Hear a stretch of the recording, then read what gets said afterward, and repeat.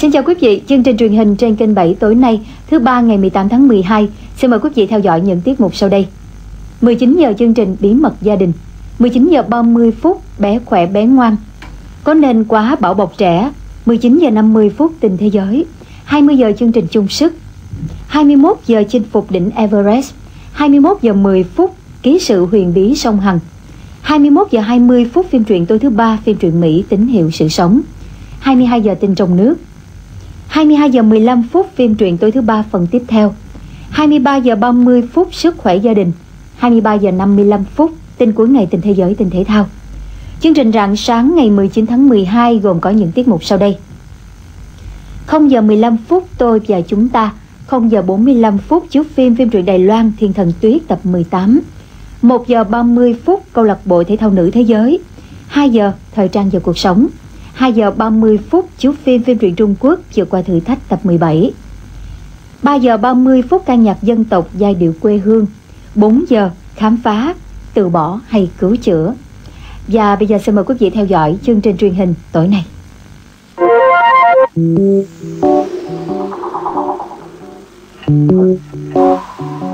Hãy tưởng tượng, khai sinh một chiếc TV khiến mọi căn phòng đều trở nên sang trọng và rộng rãi hơn. Xin thông báo, bây giờ là 19 giờ.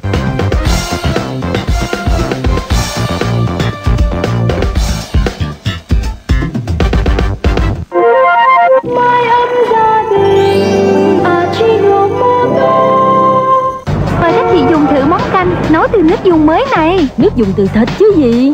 Chà, ngon từ thịt Chị nghe ngọt từ xương. Đúng là Aji ngon. Nhưng là Aji ngon mới. Ngon từ thịt, ngọt từ xương. Này có thêm xương ống được hầm thật kỹ. Vừa làm các món canh xào thêm ngon ngọt Vừa làm nước dùng.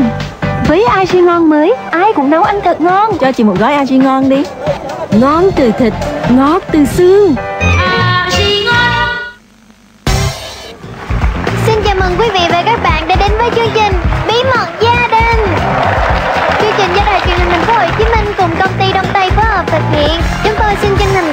nhãn hàng Ashi Ngon của công ty Ashinomoto Việt Nam đã tài trợ cho chương trình này. Và người dẫn chương trình của chúng ta hôm nay, MC Quỳnh Hương. Quỳnh Hương xin được thân hành chào đón quý vị và các bạn đang đến với trò chơi bí mật gia đình. Quý vị và các bạn thân mến, như vậy thì cứ 7 giờ tối thứ ba hàng tuần thì chúng ta lại cùng nhau háo hức khám phá thêm được những bí mật rất đáng yêu của các gia đình nhỏ. Tuy nhiên, ngay bây giờ Quỳnh Hương muốn giới thiệu đến quý vị và các bạn một người bạn sẽ cùng dẫn chương trình với Quỳnh Hương ngày hôm nay, đó chính là bé Xuân Nghi. Xin chào quý vị và các bạn.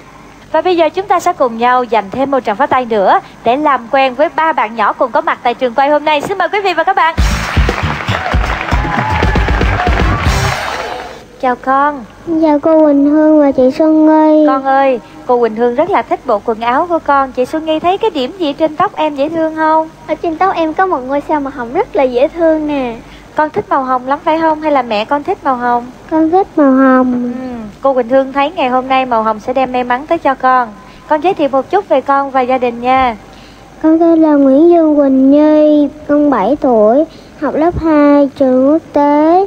Gia đình con có 4 người, ba con, mẹ con, con và em con. Con nói về ba và mẹ đi. Mẹ con tên là Dương Thị Đông Mơ. Mẹ con làm ở công ty quảng cáo. Rồi, thế còn ba con? Ba con tên là Nguyễn Xuân Phương. Ba con làm ở công ty Mỹ Khánh. À, mà cô Quỳnh Hương rất là thắc mắc về em bé của con nữa phải không Xuân Nghi? Dạ. Em bé của em tên gì và mấy tuổi? Em của em tên là Nguyễn Dương Nhật Minh, 2 tuổi. À, như vậy thì là chị à, rất là quý em và chị có biết giữ em không? Dạ biết. Giỏi quá, vậy ngày hôm nay con đến đây chơi với ai nào? Con đến đây chơi với ba con. Xin mời ba của bạn Quỳnh Nhi. Chúng ta cùng làm quen với bạn chơi tiếp theo nè Ôi Xuân Nghi ơi cô Quỳnh Hương thích cái con thỏ đang cười ôm bụng ở trên áo của em quá à Dạ, nó rất là dễ thương. Nó có tên không con? Con thỏ này có tên gì không? Dạ có. Thỏ này tên gì vậy? Nó kêu là Mi Mi. À thỏ tên Mi Mi Còn còn chị mà mặc thỏ trên người tên gì? Đen Thanh Con tên Lan Thanh hả? Con giới thiệu một chút về mình được không? Con kính chào cô Quỳnh Hương và chị Xuân Nghi. Con tên là Phan Hòa Đan Thanh Con năm nay con 7 tuổi, con học lớp 2 Trường tiểu học Thanh Đa Mẹ con tên Phạm Thị Hoài Phương. Mẹ con làm nội trợ. Ba con tên Phan Huy Hiển Làm công nhân. Như vậy thì ngày hôm nay con đến đây chơi với ai nào? Dạ con đến đây chơi với mẹ con. Xin mời mẹ của bạn Đan Thanh ta cùng làm quen với bạn chơi cuối cùng. Chào con. Con kính chào cô Quỳnh Hương, em chào chị Xuân Nghi. Con bạn con tên là Phùng Thị Xuân Thủy. Con 7 tuổi, con học lớp 2A trường Hàng Hải Nguyên. Gia đình con có 3 người. Ba, má, con. Ba con tên Phùng Văn Thuấn làm nghề giáo viên. Mẹ con tên Hứa Thị Hồng Hương. 34, 55 tuổi, làm nghề giáo viên. Hay quá. Con có tính mai mốt con làm giáo viên không? À có Hèn chi, cô Quỳnh Hương chưa kịp hỏi con đã nói rất trôi chảy từ đầu tới cuối không sót một thông tin nào. Thế chị Xuân Nghi thích nhất điều gì ở em nào? Chị Nghi thích nhất là cái cách nói của em rất là dễ thương và rất chững chạc nữa Ừ. Vậy hôm nay em tới đây em có run không và em có quyết thắng trong trò chơi này không? Dạ có Ngày hôm nay con đến đây chơi với ai? Thưa cô Bình Hương Con đến chơi với ba Xin mời ba của bạn Xuân Thủy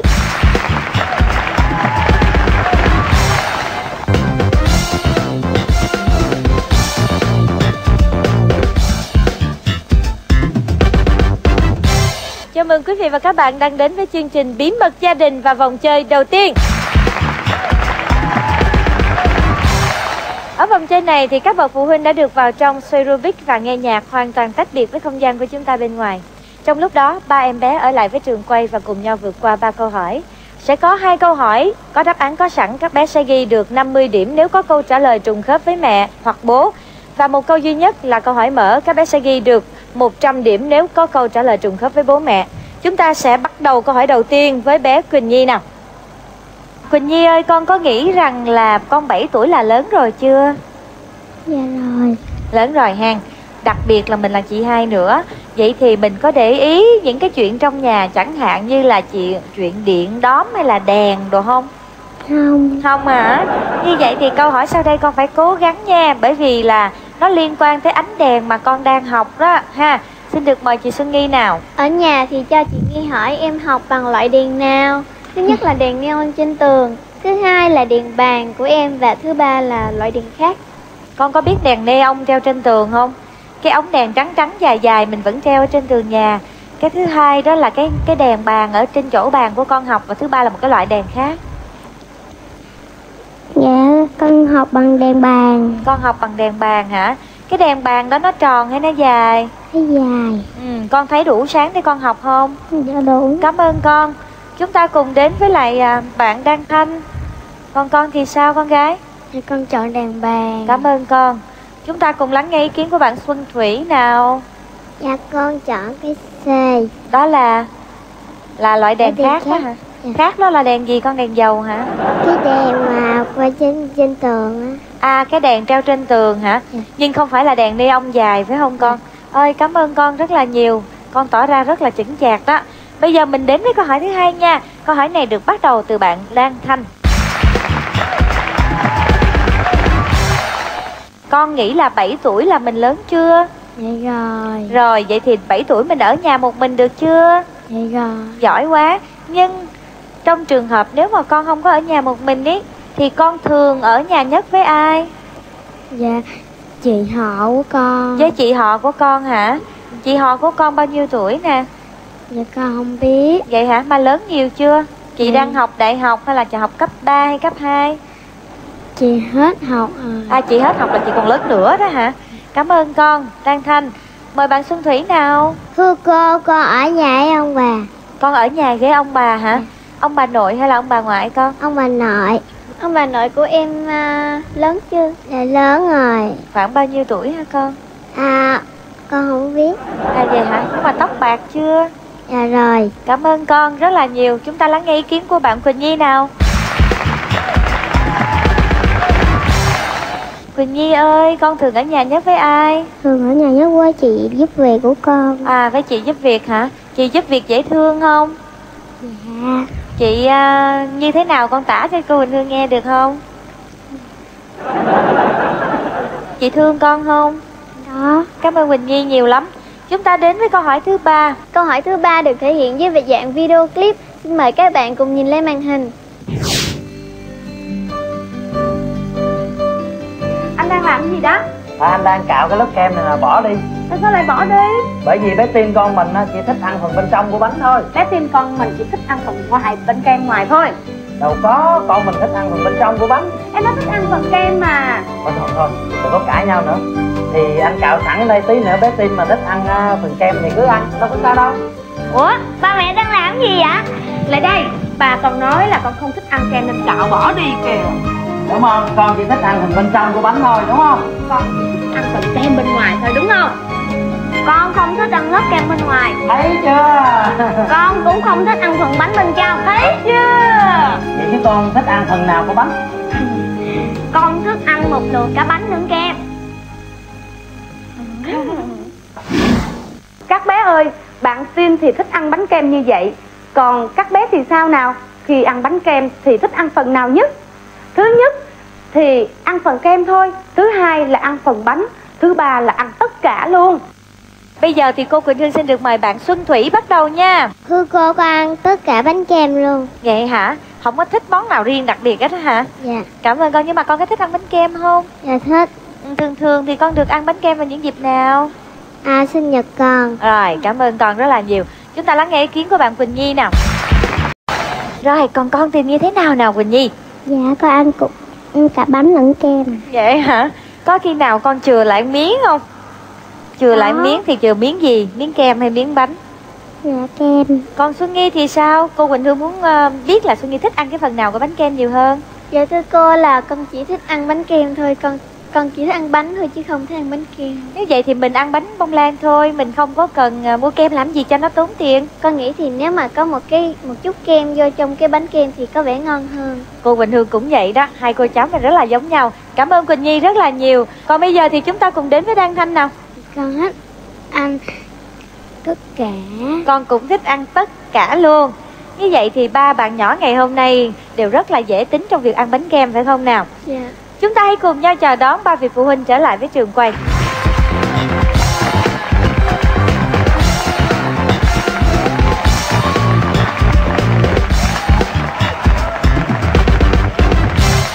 Chúng ta hãy cùng kiểm tra lại các câu hỏi bắt đầu từ ba Xuân Phương với câu hỏi đầu tiên. Thưa anh ở nhà anh có um, à, có theo dõi chuyện học của con bình thường không ạ? có Dạ rồi, nếu vậy thì Quỳnh Hương sẽ không hỏi anh về cái chuyện nội dung học tập mà hỏi là ở nhà con học dưới ánh sáng của ngọn đèn nào. Thứ nhất là đèn bàn, thứ hai là một cái loại đèn để ông treo trên tường và thứ ba là một loại đèn khác. đèn bàn à. Đèn bàn. Cái đèn bàn nó như thế nào ạ? cái đèn nó màu hồng Cái đèn màu hồng hay ánh sáng màu hồng? ánh ánh sáng màu xanh Chúc mừng anh 50 điểm đầu tiên dành cho gia đình của mình. Xin được mời mẹ Hoài Phương. bé thì có cái bàn học riêng thì cũng có một cái đèn bàn dạ rồi ờ, có khi thỉnh thoảng thì ờ, ngồi vào phòng khách cũng viết được luôn chắc ờ, tôi chọn là đèn bàn Và điều đó sẽ đem đến cho gia đình chị 50 điểm. Xin được chúc mừng. Chúng ta cùng lắng nghe ý kiến của ba Quang Tuấn nào. À, theo ý tôi tôi chọn đáp án câu C. Đó là gì ạ? và một loại đèn khác à. À? Đèn khác đó là như thế nào ạ? cái loại đèn mà nó có chụp chiếu xuống á chị Dạ, đèn có chụp chiếu xuống nhưng không phải là đèn bàn phải không anh? Dạ. 50 điểm dành cho gia đình của anh. Chúc mừng. Như vậy là với câu hỏi đầu tiên cả ba gia đình chúng ta đều đã được ghi điểm, đang rất là cân bằng. Bây giờ đến câu hỏi thứ hai. Câu hỏi này cũng không quá dễ cũng không quá khó, xin được mời mẹ Hoài Phương. Ở nhà thì cháu thường ở nhà với ai nhiều nhất ạ? à cháu ờ, thì ở nhà có người chị họ Chị họ thì khoảng bao nhiêu tuổi ạ? Hai mươi mấy rồi chị mình Ừ. hương Tức là người bạn đồng hành với cháu ở nhà, bạn chơi với cháu Dạ, luôn hay sao đúng rồi. Chị à, họ đó tên gì ạ? dạ tên là nguyệt à. À hồi nãy Quỳnh Nương chưa có kịp hỏi chị họ đó tên gì Nhưng thực ra chỉ cần nhớ chữ chị họ là Hai mẹ con đã có thể ghi được 100 điểm tiếp theo Chúc mừng xin được mời ba Quang Tuấn ạ Dạ ở nhà cháu thì thường ở với ông bà nội ạ. vậy hả anh ông bà nội lớn tuổi chưa ạ Dạ ông bà nội thì một người, ông nội thì khoảng hơn 70 tuổi, bà nội cũng sáu mươi mấy ạ. Dạ. Và như vậy thì ờ, rõ ràng người ta vẫn nói là trong một gia đình mà có ba thế hệ thì cháu vẫn thân với ông bà rất Dạ. là thân đúng không anh? Dạ phải. Anh nghĩ điều đó tốt không ạ? À, theo ý tôi thì điều đó rất là tốt ạ. Quỳnh Hương cũng thấy tốt nữa Đặc biệt là khi nó đem đến cho gia đình anh 100 điểm chúc mừng Xin mời ba Xuân Phương. Thường thì bé ở nhà với lại cái chị giúp việc và thường thường buổi tối thì mẹ. Thế còn ba xuất hiện ba lúc thì nào cũng ạ? đi ờ, cũng đưa bé về xong rồi ba là đi. À thế à? thời gian. Dạ. Và 100 điểm nữa dành cho gia đình của con. Chúc mừng. Quỳnh Hương cảm thấy rất là vui Bởi vì là qua cái cách trả lời đúng như thế này Thì thấy rằng các ông bố bà mẹ cũng đã thân cận với con rất là nhiều Để có thể hiểu được rất là nhiều những cái tâm lý Cũng như là những sự việc xảy ra trong ngày. Bây giờ là chuyện nhỏ Nhưng mà nếu chúng ta đúng được những chuyện nhỏ này Thì chúng ta sẽ càng hay hơn nữa. Đó là việc ăn bánh kem. Um, hồi nãy thì có một đoạn băng video nhưng sau đây thì Quỳnh Hương xin được uh, nói lại nội dung của đoạn băng đó như sau. Thưa ba Quang Thuấn, ở nhà anh có biết là sở thích của con mình khi ăn bánh kem thì như thế nào không ạ? Thứ nhất là chỉ thích ăn phần bánh thôi. Thứ hai là ăn hết cái gì có trong cái bánh kem là ăn hết. Thứ ba là chỉ thích ăn phần kem thôi. Mời anh. Dạ theo ý tôi thì chắc bé ăn hết cái bánh luôn ạ. Vì sao anh biết rõ như vậy? Dạ lâu lâu thì nhà cũng có làm cho bé ờ, sinh nhật cho bé hoặc là sinh nhật của anh bé thì bé ăn hết bánh luôn ạ. Và bé chén tuốt không không có chê cái gì hết đúng Dạ không phải ạ? ạ. 50 điểm tiếp theo dành cho gia đình của anh. Chúc mừng. Xin được mời ba Xuân Phương. à, dạ nhà thì bé thường thường bé thích ăn phần bánh Thế ạ? Thế còn bánh còn phần kem thì phần ai kem ăn? thường thường bé để lại Vậy có hả? khi ăn nhưng mà ăn ít Dạ, cũng ăn nhưng mà ít phải không? Dạ. Quỳnh Hương ước gì hồi nãy anh nói ăn nhưng mà ít nhưng mà anh chọn là ăn hết cả bánh tại vì dù gì cũng có ăn mà. Hồi nãy con lại thấy rằng là nếu con nói được ăn nguyên một cái vậy thì chắc người lớn hơn phải không con? Cho nên hai cha con chưa hợp ý nhau rồi, chưa ghi được điểm. Không sao, mình sẽ còn rất nhiều cơ hội khác. Xin được mời mẹ Hoài Phương. Dạ em chắc chắn là bé ăn kem không thôi Vậy á hả chị? Dạ Ăn kem không chứ còn bánh để lại ai ăn? Mẹ ăn không Vậy hả? Vậy là cô Quỳnh Hương biết thêm một bí mật của con nữa rồi con à, chỉ thích ăn kem nhưng mà con lại sợ nói ra như vậy thì người ta nói con con nít đúng không con? Cho nên chưa ghi được 50 điểm cho câu hỏi này Kết thúc vòng chơi đầu tiên, bé Xuân Nghi sẽ công bố cho chúng ta biết số điểm của cả ba gia đình nhé Kết thúc vòng thi thứ nhất, gia đình bé Quỳnh Nhi ghi được 150 điểm. Gia đình bé Đan Thanh ghi được 150 điểm. Và gia đình bé Xuân Thủy ghi được 200 điểm.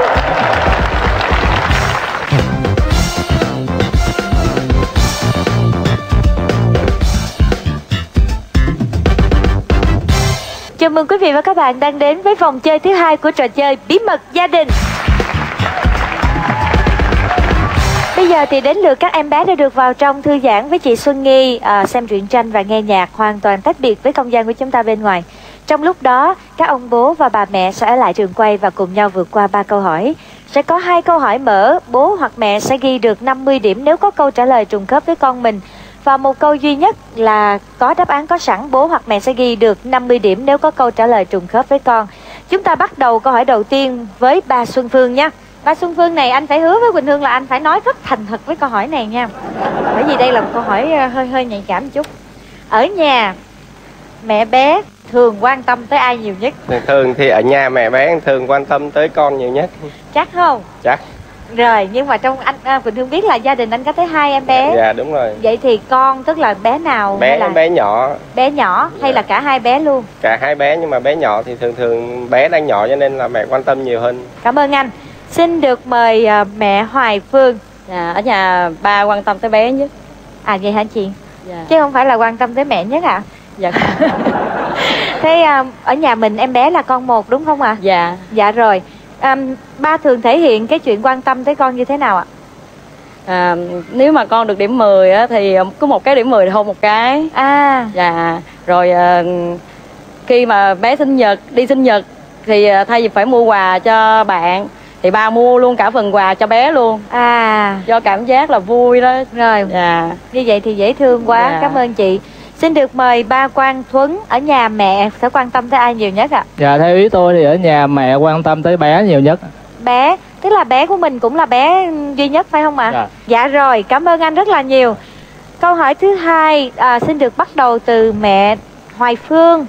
Nếu mà tới giờ đi học mà bé cảm thấy trong người hơi mệt thì bé sẽ làm như thế nào? Nếu mà theo cá tính của cháu thì các anh chị sẽ chọn ha.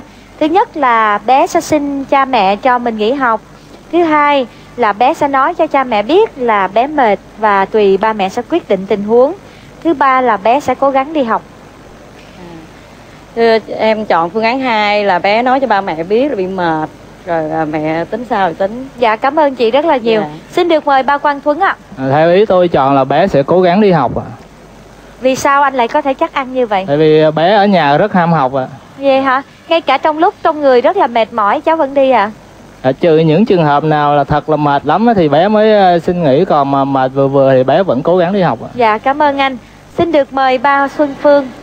thường thì à, bé sẽ nói với lại ba mẹ trước để ba mẹ quyết định Dạ. Rồi lúc đó ba mẹ thường quyết định thì sao ạ? thường nếu như mà bé mệt quá thì xin cho bé nghỉ còn không thì động viên bé đi học Cảm ơn anh. Bây giờ chúng ta sẽ đến với câu hỏi cuối cùng à, bắt đầu từ ba Quang Thuấn ạ. Trong gia đình mình ấy, bé sẽ thấy ai lo lắng cho việc học của bé nhiều nhất ạ? à, theo ý tôi thì ờ, bé sẽ nghĩ là cả ba lẫn mẹ đều lo lắng cho việc học của bé Tại vì ba lẫn mẹ đều là giáo viên mà phải Dạ không phải anh? ạ. Cảm ơn anh. Xin được mời ba Xuân Phương. Dạ, thường thì là ba bé Ba mẹ luôn. ba thì Ba. là ba dạ Ồ, vì sao thế ạ? tại thì thường thì à, ba thường thường hay chỉ bài cho con anh. À, nhưng Dạ. mà nãy anh nói với Quỳnh Hương là ba đi rất là nhiều, ba không có không thì thường tối mới về tối thường tối về thì ba bé thường chị học cho bé nhiều hơn Dạ rồi, cảm ơn anh. Xin được mời mẹ Hoài Phương. tôi lo lắng chuyện học của con nhiều hơn Có nghĩa là mẹ sẽ là người chăm nhiều hơn. dạ Cảm ơn chị rất là nhiều. Bây giờ chúng ta sẽ cùng nhau chào đón các em bé trở lại với trường quay nào.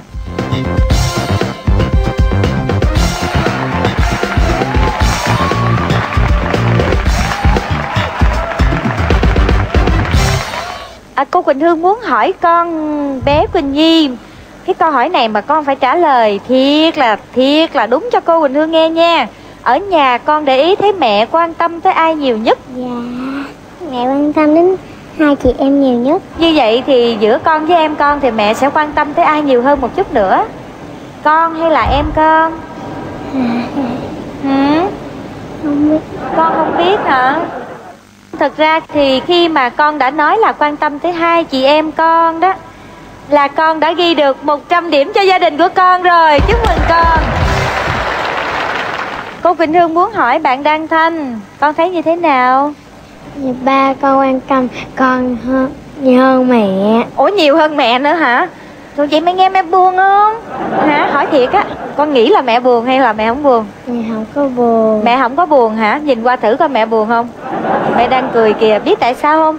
Hồi nãy mẹ cũng nói là ba quan tâm tới con nhiều nhất trong nhà Cho nên 100 điểm để dành cho gia đình của con Chúc mừng Nào con, bạn Xuân Thủy, con nghĩ như thế nào? Mẹ quan tâm tới con nhiều nhất Sao con chắc ăn dữ vậy? Vì sao vậy? Tại con là cục cưng của cả nhà đúng không? Dạ Biết ngay mà, thấy con cười tươi là biết ngay mà 100 điểm dành cho gia đình của con, chúc mừng Chúng ta đến với câu hỏi thứ hai Câu hỏi này được bắt đầu từ bé Đan Thanh Đan Thanh ơi, con có phải là một em bé ham học không? Dạ phải Vậy thì bây giờ cô Quỳnh Hương sẽ đưa ra trong một cái tình huống à, con cảm thấy bị mệt Có lúc nào con cảm thấy bị mệt trước khi đi học không? Dạ không Không hả? Bây giờ con sẽ phải tưởng tượng là sắp tới giờ đi học rồi mà con bị mệt Vậy thì lúc đó con sẽ chọn như thế nào? Thứ nhất là con sẽ cố gắng đi học. Thứ hai là con sẽ xin ba mẹ cho con nghỉ học. Thứ ba là con sẽ nói cho ba mẹ biết là con mệt Rồi sau đó tùy ba mẹ quyết định. Con chọn đáp án C. Đó là? Con nói ba mẹ Ba mẹ tự quyết định. Rồi ba mẹ sẽ quyết định làm sao? Con đoán được không? Dạ không. Không hả? 50 điểm dành cho gia đình của con, chúc mừng Xin mời con Xuân Thủy, con nghĩ như thế nào? Thưa cô con nghĩ Con sẽ nói ba mẹ. Con sẽ nói ba mẹ rồi sau đó nữa làm sao? ba mẹ quyết định. Ba mẹ cũng quyết định luôn phải không? À, nhìn qua ba kìa thật ra cô quỳnh hương thấy ý đó đúng á con. Tại vì mình không thể quyết định được mình chỉ báo cho ba mẹ biết là con bị mệt rồi sau đó ba mẹ nói là ừ con nên đi học hay là con thôi được rồi con nghỉ đúng không nào nhưng mà đó hồi nãy quỳnh hương cũng không đồng ý trong bụng nhưng mà thôi cũng là một ý kiến của anh. Nãy ba nói là con sẽ cố gắng đi học. Cho nên là chưa ghi được 50 điểm cho câu hỏi này. Chúng ta cùng lắng nghe ý kiến của bạn quỳnh nhi. Dạ con ráng đi học tiếp. Con sẽ ráng đi học tiếp hả? Con mà bao giờ con đã bị mệt bao như vậy bao giờ chưa? Dạ rồi. Rồi con cũng ráng đi học tiếp hả? Bắt tay cái đi con là một cô bé rất là giỏi mà ngoan. Hồi nãy đó ba nói với cô quỳnh hương là con sẽ báo rồi ba mẹ quyết định thật ra như vậy thì cũng đúng thôi nhưng mà cô quỳnh hương khen tinh thần của con là một bé ham học nhưng mà chưa ghi được điểm cho câu hỏi này mình sẽ còn cơ hội cuối cùng cho câu hỏi thứ ba được bắt đầu từ bé Xuân Thủy.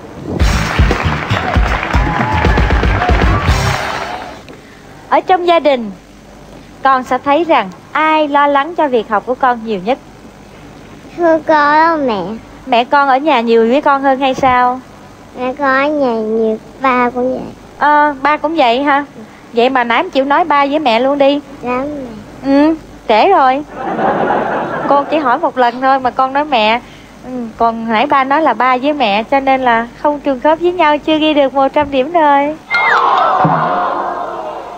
Bây giờ chúng ta sẽ cùng nhau đến với ý kiến của bạn Quỳnh Nhi. Ở nhà ai là người quan tâm tới việc học của con nhiều nhất? dạ thưa cô là ba con Ba con. Mẹ không có quan tâm bằng hả con? dạ Con chắc không? Chắc. Cô Quỳnh Hương đánh cho con 200 điểm để con đổi ý, con đổi qua mẹ con chịu không? không Thiệt là vậy luôn á hả? Cô Quỳnh Hương muốn khen con Bởi vì con như vậy là con rất giỏi mà con còn không có bị cô Quỳnh Hương dụ khị nữa 200 điểm kia 200 điểm ảo mới đúng đâu. 100 điểm này mới là điểm thật. Chúc mừng con Chúng ta cùng lắng nghe ý kiến của bạn Đăng Thanh nào. Dạ thưa cô con chọn là mẹ. Mẹ con. Ừ, Bởi vì mẹ con ở nhà thường với con hay sao? mẹ con ở nhà nhiều hơn. Ừ, và mẹ con toàn bộ việc học là lo cho con hết đúng không? dạ. 100 điểm dành cho gia đình của con. Chúc mừng Kết thúc cả hai vòng chơi xin mời bé Xuân Nghi sẽ công bố số điểm của cả ba gia đình nào Kết thúc cả hai vòng thi, gia đình bé Xuân Thủy ghi được 300 điểm.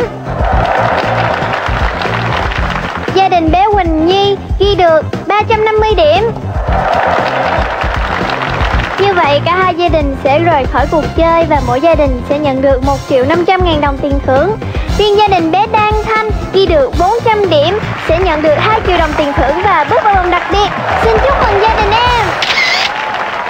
Mỗi gia đình khi đến đây chơi ngày hôm nay sẽ nhận được một giỏ quà từ phía nhãn hàng Achi Ngon công ty Ajinomoto Việt Nam. Và ngoài ra, chú heo nhỏ Achi Ngon này cũng sẽ theo chân các bạn nhỏ về nhà. Cảm ơn cả ba gia đình cùng đến đây chơi ngày hôm nay.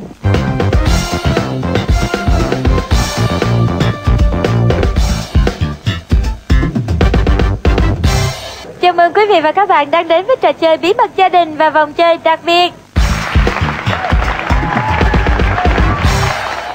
Chủ đề của chúng ta ngày hôm nay là sở thích của các bé gái Và trong vòng 30 giây thì hai mẹ con của bé Đan Thanh sẽ chọn ra những cái thú vui nào mà con có vẻ con rất thích Thì đặt ở ô số 1, số 2 và số 3 Còn những thú vui mà em không thích thì em có thể để ở ô số 4 và số 5.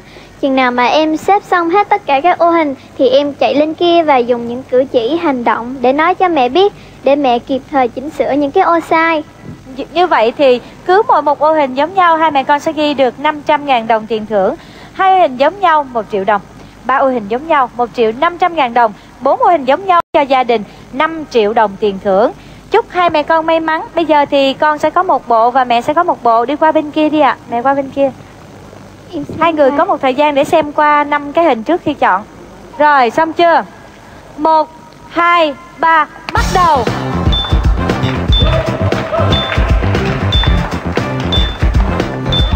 Dạ. Nhanh lên nhanh lên nhanh lên nhanh lên nhanh lên nhanh lên. Rồi chạy kia. Rồi chạy ra trước đi chị.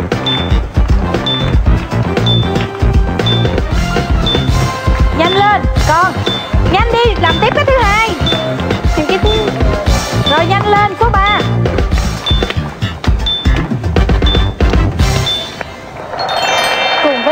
cái thôi nhưng mà em bé trong hình đã có thể làm được rất nhiều những cái uh, trò chơi khác nhau. Thứ nhất là em cho oh.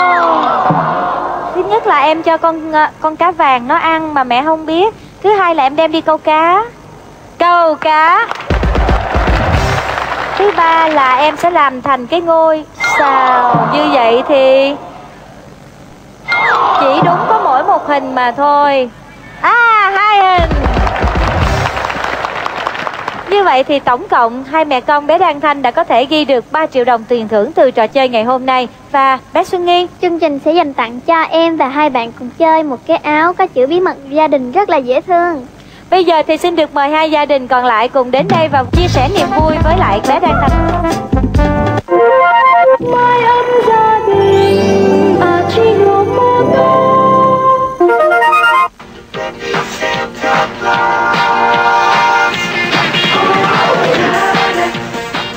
mùa Giáng sinh, Trung tâm Dịch vụ Truyền hình xin giới thiệu đến các bạn nhỏ bộ phim hoạt hình Ông già Noel hiện đại. Đây là bộ phim hoạt hình vui nhộn, đầy tính giáo dục và sẽ là món quà lý tưởng cho các em.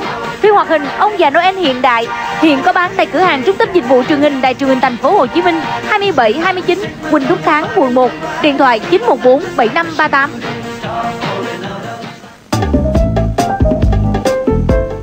Vị và các bạn thân mến, chương trình Bí mật gia đình do Đài truyền hình Thành phố Hồ Chí Minh và công ty Đông Tây phối hợp thực hiện với sự tài trợ của nhãn hàng Ashingon, công ty Ajinomoto Việt Nam. Cảm ơn quý vị và các bạn đã quan tâm theo dõi. Hẹn gặp lại quý vị và các bạn vào lúc 19 giờ tối thứ ba hàng tuần trên kênh HTV7. Còn bây giờ thì xin được chào tạm biệt và hẹn gặp lại.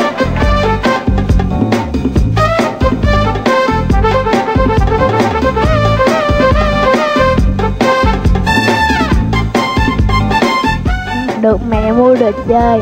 Dạ tại vì ông già Noel chỉ có trong cổ tích thôi. Tới mùa Noel thì con sẽ ước được ông già tặng ờ, đúng như ý con. Vẫn chưa ghi được 50 điểm cho câu hỏi này. 10 con. Trời ơi 10 con sao con chơi cho hết đi Chị Xuân Nghi ơi mình phải tới nhà mình chơi siêu nhân phụ với em mới được. Vậy sao con còn ước thêm Barbie nữa? Dạ nhiều chơi vui con. Lẩu hải sản. Lẩu hải sản. Món này chắc là chỉ có Giáng sinh Việt Nam mới có đúng không ạ? À?